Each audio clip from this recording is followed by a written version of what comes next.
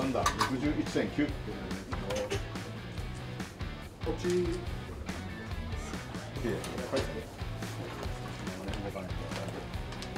えー、61.6自分のやってきたことを一方的に展開していってやっていくっていう感じです。注目されてる分いい勝ち方できるように明日は、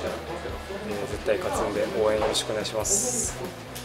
えー、明日、えー、試合に出る浜崎隆弘です、まあ、正直、現実的に判定勝ちっていうのは難しいと思うんで、もう勝つ方法って言ったら、もう倒すしかないと思うんで、もう全力で KO できるチャンスがあれば、もうそこで全力でいきます。はい